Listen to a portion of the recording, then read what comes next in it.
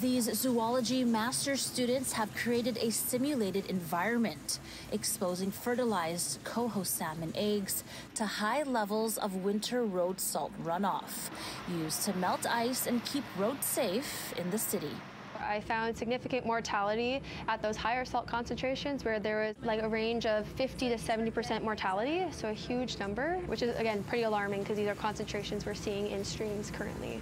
Eggs that appear milky white in the mimicked environment did not survive the contaminated salt water levels found in freshwater streams in Vancouver's lower mainland from potential snowmelts entering drains and creeks. BC sets a guideline of 600 milligrams per liter of salt or chloride, so meaning at any given point in freshwater streams, we should not go above 600 milligrams. The highest we saw was 6,000, so that's 10 times BC's acute guideline. This is one of the 30 streams across Metro Vancouver monitored for road salt runoff.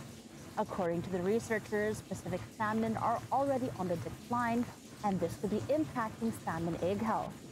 Salmon are born in fresh water, and as they become adults, their bodies change drastically to adapt to living in salt water. Because there's so many issues facing salmon on, on the west coast. This of course could be one of one of the stressors affecting their their populations. Um, and so if we're able to kind of advocate for smarter salt use, alleviate some stress for those populations. These future zoologists would like municipalities to consider using brine instead of salt for melting ice on roads during the winter months. As they say, it uses 50% less salt and is more effective at sticking to streets and sidewalks and could save more salmon eggs.